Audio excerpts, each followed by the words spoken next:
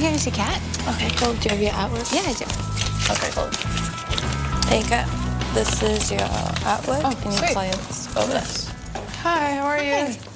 I'm Kat. Hi, I'm Sara. Nice to meet you. Nice to meet you. This is very cool. Thank you. So do you, where do you want to get it? So I want to get it right here. Okay, cool. And um, I'm a neuroscientist, so I wanted to have like a little neuroscience theme to it. Very cool. So I was hoping that maybe we could get like neuroscience here, Uh-huh. and then I really want to have it say "My brain hurts" in Latin somewhere.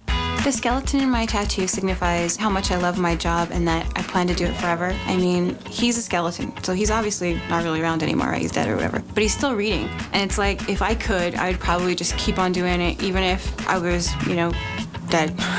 Well, I'll draw something up for you and I'll show it to you in a minute. okay, thank you.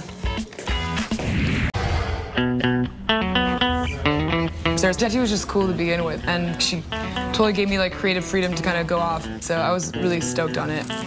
So I'll kind of get the idea like this. That's so cool. I wasn't sure if we'd be able to get to actually fit it where it's legible, but it looks great. I wasn't quite sure exactly what kind of lettering I wanted to do, but I left that up to her, and it came out beautiful. So cool. Totally. Oh my god, I'm so excited. I love it. It's probably my first neuroscience tattoo. Are you ready? Yes, totally. Cool, here you go. So you are a neuroscientist? Yep. What does that mean? Well, I work for a pharmaceutical company, We're hoping to find drugs that will cure like Alzheimer's disease or Parkinson's disease. It's pretty crazy. Yeah, it's, it's pretty fun though. I love doing it because you know that something that you've worked on is going to help somebody. I have always wanted to be a scientist, even as a little kid. I had this closet that was my lab, and I used to get in trouble all the time for mixing chemicals together, making my potions, and my parents are both in the medical profession, so there was a lot of medical journals around the house while I was growing up, and when I would just want to read something, I would grab one of those. Like, if you come from like a background where your parents are both like in the medical field, like I would think that they're probably not that stoked on all your tattoos, right? Yeah, well, my parents were really conservative and religious. yeah, same here. And so the whole thing was they'd see people with tattoos or piercings. And so they're like, you know, those people aren't going to do much with their lives. And I'm like, why could you say something like that, you know? Because they're judgmental. Yeah, exactly. But I don't know, I just kind of felt like it was a, like a mission of mine to like kind of prove otherwise, you know? Yeah. I think my whole life I've probably been surprising people. Like maybe when they first meet me, they might meet me at a you know at a concert, and then they're like, "Oh, so what do you do?" You know, and who knows? Maybe they thought I worked at Starbucks or something, and I'm like. No, I'm a neuroscientist. And they're like, really? Oh my God, you don't look like a neuroscientist. But you know, the, the cool part about it is like, after talking to you for like five seconds, you can tell you're pretty smart. You know what I mean?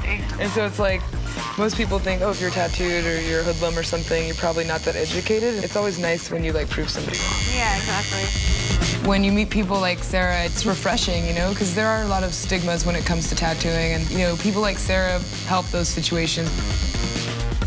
Cool. Are you ready to check it out? Yeah. Let's go.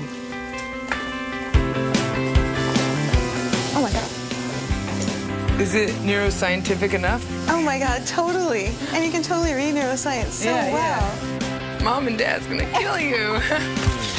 I knew with Kat doing my tattoo that it would look pretty realistic, but I didn't expect it to look as real as it does, being that it was so small. But the detail is amazing. Like the bones, the highlights in the fingers, and on the actual book itself, she was able to put neuroscience and a brain, which I wasn't really sure if it would be possible. She far surpassed my expectations. Dude, it was so good. Thank you so much. That's awesome. So much fun to tattoo. I was really happy with the tattoo when it was done. Like, I could tell that Sara was really stoked on it, and, um, you know, we both love what we do, and um, to be able to wear it on your sleeve, that's just priceless.